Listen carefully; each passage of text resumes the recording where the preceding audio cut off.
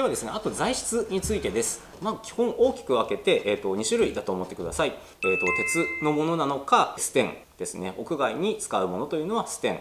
で屋内ですね。で使うようなものには全然このユニクロですね。のもので、えー、問題ないかと思います。じゃあ材料に対する、え、どれぐらいの長さを決めたらいいかと挟み込みたい相手の材料の2倍から3倍っていうふうに言われてるんですけれども僕らはまそんなに長くなくていいのかなというふうに考えます。というのは、えー、と初めてインパクトドライバーを使うという場合に斜めになったらその分長い分飛び出るリスクというのが増えます。ビスというのは螺旋構造になってますので 15mm から 20mm ぐらい入れば十分グッと引き寄せる能力というのが効いてくれますのでそんなに長いものを打たなくてもいいのかなというふうに考えてます。ただですね、えーと、ボンドをその時は必ず入れるようにしてください。えーと、一番いいのはやっぱりその材料の、えー、接合というのはボンドを使うことです。えーと、そのボンドを補助する押さえつける能力を、えー、と補助してくれるということでこのビスというのが一応あの必要だというふうに考えてください。下穴ってどんな時に開けるのということで質問もよくあるので説明に入っていきたいと思います。で、えー、基本はコーススレッドもこのスリムビスというのもですね先割れ防止機能というのがあってもうぐんぐんぐんぐん留めつけてくれます。下穴がなくても実際加工はできますね。じゃあどういう時に下穴を開けるかといったら、えー、と例えばこのスリムビスで言ったら合板。合板っていうのはウエハース状ですのでそこからこのビスの太さで断裂してしまいます。押し広げられて。そのために先に穴を開けておいてそこに入れてやるというような考え方になります。あとは例えばコーススレッドで、えー、何でしょう2倍材でこんな枠を組みたいと言った時にその板の端ですね端にビスを打っていくとどうしてもその小口に近い部分というのは割れてしまいます。そういう時だけ一応下穴を開けてやるというふうにしてやるといいかなと。いうふうに考えてます。ですので、えーと、下穴というのは必ずしもマストではないというふうに覚えておいてください。じゃあ、えー、下穴の、えー、その直径ですね。どれぐらいで開けたらいいのという話になるんですけれどももちろんここの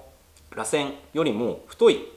下穴を開けてしまったら全くビスが効いてくれません。あえてそういうふうに留めつける時もあるんですけれども、えー、しっかり留めつけたい時というのは基本的にこの螺旋を除いた軸の0.8掛け下穴を開けてあげるといいかなというふうに思います。はい、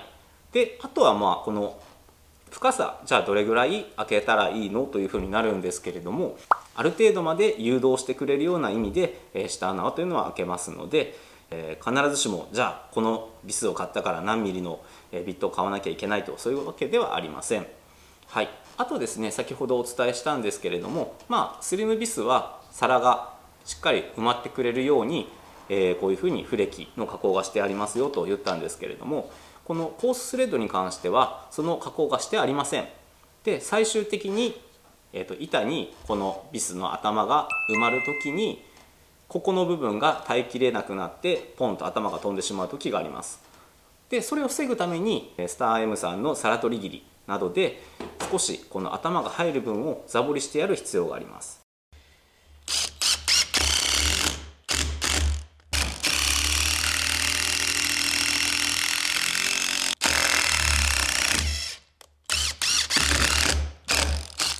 こういう形で、えしっかり留めつきます。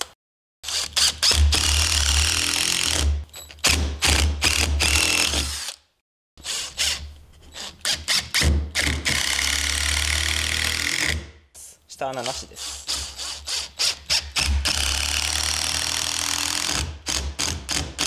抜こうとしたんですけれども回しても抜けません。でこの場合はどうなっているかというと貫通しているんですけれども抜けないということは中のどこかで、えー、折れているはずですね。はいこういう形で今ですねこの中でビスが折れてしまっていると。だから硬い木の時にも、えー、一応このスリムビス打つ時にも下穴っていうのを開けておいてあげた方がいいですよと。はいじゃあ合板を例えばまあ、こういう形で箱を作りたいと言った時にこう止めたいとします。でその時にここに下穴なしで打った時というのはこういうふうにしっかり割れずに入っていってくれます。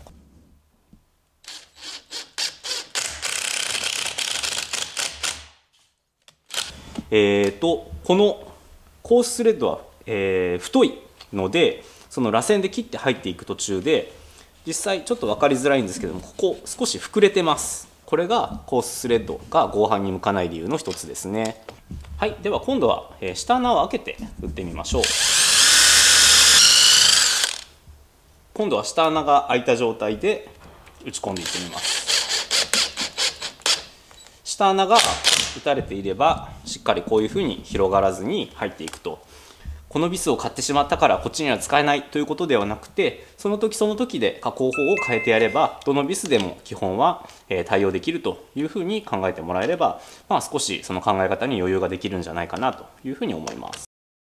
はいということでですねビスについて、えお伝えさせていただきました。でえー、一番初めに言ったんですけれどもいろんな種類がホームセンターに売られていますけれども実際に使うビスというのは本当に限られてますでその中でも何か間違いがあるというわけではありません。ですのでそんなにビスの選び方について不安にならなくても大丈夫です。